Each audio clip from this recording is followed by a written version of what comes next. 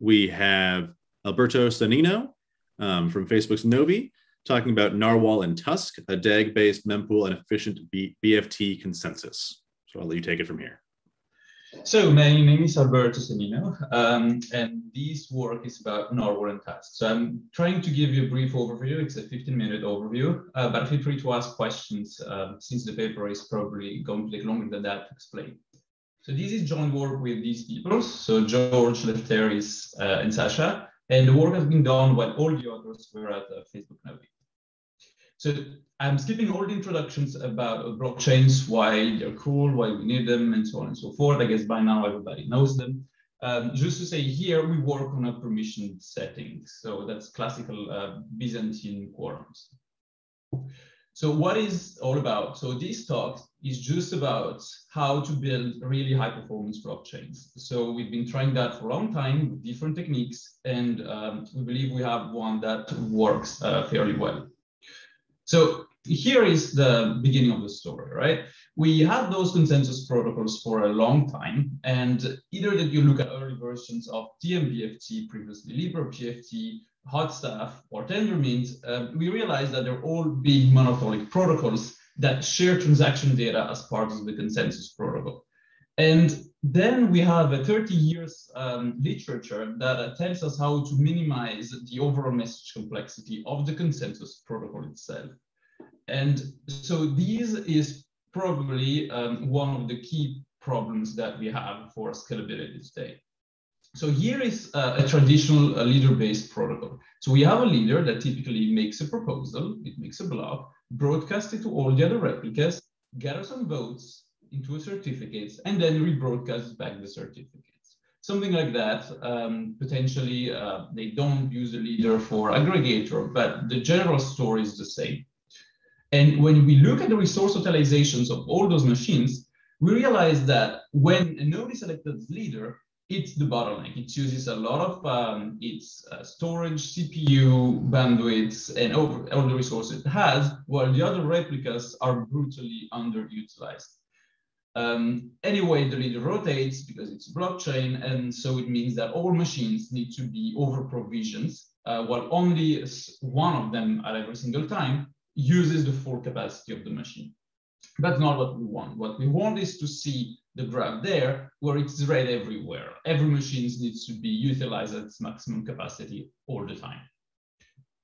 And so after um, a lot of digging, we uh, realized that the mempool is actually the key in all of this. That reaching consensus on metadata, if those are small, it's actually very cheap and message complexity does not really matter a lot for consensus. Again, if the mempool already did the bulk of the work and shipped all the data around. So here it's about separating the data propagation, which is will be the role of the mempool, from reaching consensus of metadata, which will be the role of the consensus protocol. So first of all, Narwhal. So that's the mempool. I'm going after to uh, explain you how we take that Narwhal, the mempool, and build a consensus protocol on top of it or actually add any consensus protocol on top of it. So here is the mempool. Um, it works uh, like that. So nothing complicated at the beginning. We have the client's transaction on the left and the Narwhal um, uh, mempool, which um, runs on every single node. So the mempool is composed of a number of um, entities. The workers, we have n workers, and the primary, one primary per mempool. So I had that question a lot. So don't look too much for the trust relationship between those workers and the primary. If it's easy, just assume that um, all the process, each worker is a process on the same machine as the primary. So all on a single machine, um, imagine them like that. And so it's a single guy, a single trust authority that operates a single node then we can actually say, well, that node operator actually can own multiple machines, again, under its own authority, and then you can have one worker per machine if you, if you like. So this does not change at all the, the trust model and the threat model of the Byzantine quorum. So what happens is the client submits the transactions to the workers. Through some kind of load balancing, each worker receives different transactions from the client, Here is where we can apply techniques from Mir BFT or others. Uh, these are completely orthogonal. Every worker receives its transactions and add them into batches. And each worker broadcasts the batch to all other worker, to, to the worker um, of all other nodes. So to take an example, worker one gets transaction from a client, makes a batch, and now broadcasts the batch to all other workers number one of all other nodes. Worker number two makes its own batch and sends the batch to all workers number two of all other nodes. But so no, worker one is not going to send any message to worker uh, number two, for instance. Um, so you'll see a little bit how these will enable uh, the scalability of the system. So in addition to composing those batches, every worker hash the batch as well and sends the digest to the primary. So these are very small, like uh, 32 bytes. The primary is the process or dedicated machines that receives from a lot of workers, very small amount of data. And what it does with that, it runs the mempool protocol. So what's the mempool protocol, right? I'm going to explain it now. Just keep in mind, the mempool protocol, protocol is per se lightweight in the sense that it only operates on metadata. Suppose a block header that embeds all the, all the digest that it got so far. That block header, uh, well, the very first at least, will link to, three, uh, to 2F plus one Genesis blocks. It broadcasts the header to all primary machines of all other nodes and gathers some votes the voting rule is fairly easy. It's just that um, you vote for a header if it's the first header you see from a validator, from a validator for a specific round number. Then the, um, the validator just aggregates all the votes into a certificate and rebroadcasts back the certificate. So that's a very common pattern. Um, so the next block would not link to the Genesis, of course, it would just link to 2F plus one certificates of the previous round. So that would build a structured round. These, what you see on the graph here, we consider it round one. And uh, for, for those who are into, into more of those things, you realize that if we do that a lot of time, we eventually achieve some Byzantine consistent broadcast. Um, well, actually reliable broadcast, sorry. So every node does that in parallel, right? So um, here I removed all the links uh, except for uh, node one uh, for clarity on the, on the graph, but every node does the same thing. Um, round one is all the things that I showed before. Round two, similar, but it links to 2F plus one uh, certificates of uh, round one.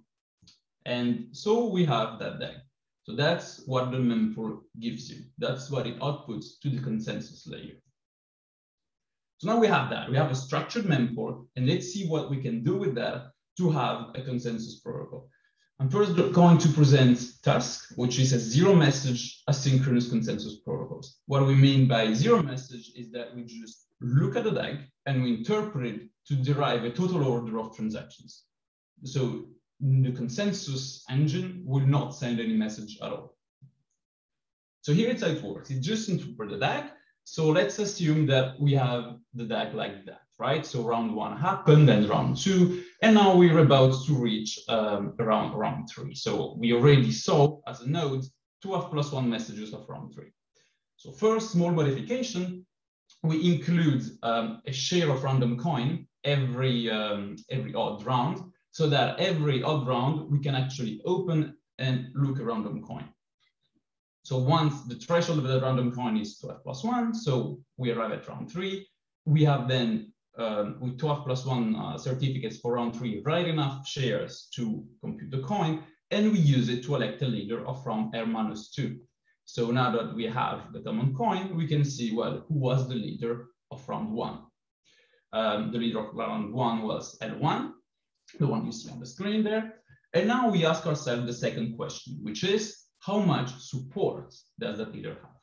So what support means? It means how many nodes from round two linked to the leader. Here we see on the picture that it's only one. What we want is actually F plus one support for a leader. If not, we say just leader has not enough support and we just continue. We don't do anything. So already there, it's pretty nice because we do not have view change, although a leader is considered to have failed, um, according to some definitions of fail, right? So uh, lights go on, the DAG continue to grow. For instance, uh, we may have some gaps in the DAG, that happens, it's not a big problem. And now we're at round five. So round five, it's an odd number again, so we can open the new common coin. We open the new common coin that uh, tells us who's the leader of round three. So it's L2. Same thing as before, we look what's the support for the leader L2. Let's just look at round four and check how many blocks of round four actually linked to that leader. Now it's cool, we have F plus one support, F plus one nodes linked to that leader, and now we can commit. So that is the commit for now. How does it work? Well, we look at leader two, the one that we just found has enough support, and we check if it has, if it's linked through the DAG to any previous leader. Well, here you see on the graph, well, it's linked to L1, the leader of L1. So now what we do, we first commit L1 and then commit L2. So that's very important. We need to be a little bit recursive. We go back and we start from the earliest leader, we commit the leader, and then we advance until we commit the leader L2. So what does committing a leader means? Well, committing a leader means committing all its sub DAG. So for instance, when we say we manage to commit L2, it actually means that we commit all the green blocks there, whatever it's linked by L2. So whenever we manage to get a leader with enough support, we actually commit a gigantic number of transactions at once. And um, so that was the Tusk consensus protocol. If you follow that, uh, it's actually really that simple. There is very little more, uh, more than that.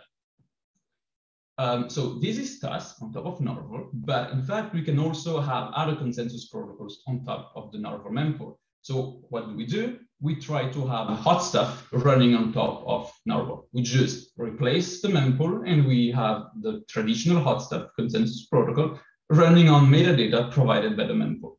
We just have one slight modification to the commit rule. Well, it's every time that we uh, commit, uh, that stuff commits uh, a certificate, um, that we use as payloads, well, we can commit the whole subdag. It's just we order the certificates and then they're causally linked. So there is no problem in just uh, ordering deterministically. And so we see that the mempool grows asynchronously. And whenever HotStuff manages to commit whatever um, its payload, well, we commit um, everything that follows. So you can see when HotStuff uh, gets a, a, payload, we contain, we contain C1 and C2. The blue blocks are committed the yellow one are uh, next, and then when HotStuff commits a block that contains C3, well, all the green one are committed as well.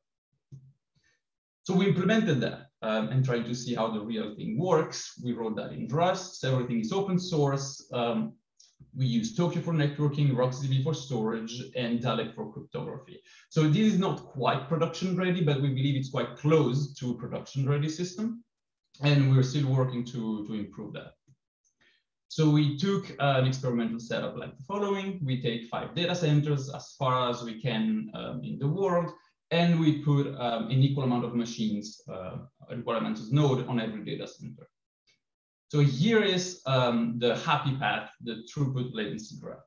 Um, for, just for the sake of time, forget about uh, the orange line. Uh, the baseline HotStuff is the red one. What happens if we just take HotStuff as it is? and we run it in the same conditions, so a WAN, a WAN testbed, not the one that you may see on other papers that are actually in the data center, and um, compared on the same conditions, same transaction size um, to the rest of the protocols.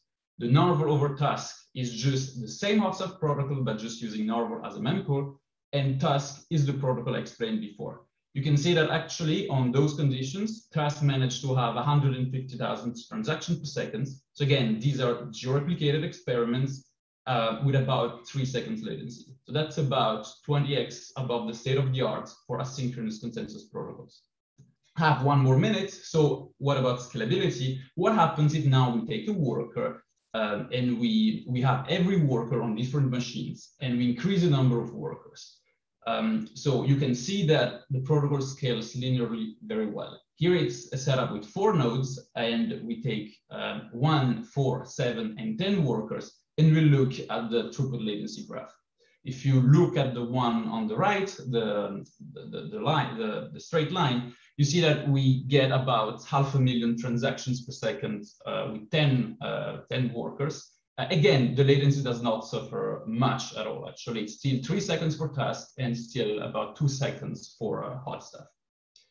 And um, that's it. So uh, in conclusion, is separating consensus and the data dissemination is what enables high performance on, um, on these blockchain designs. Um, and egalitarian resource utilizations was actually key. So we all use all our machines as much as we can. The workers are the heavy, um, heavy beast. Everything else is quite light and operates on metadata. Um, that's why we scale and uh, link to the paper, link to the code. Let me know if you have any other question.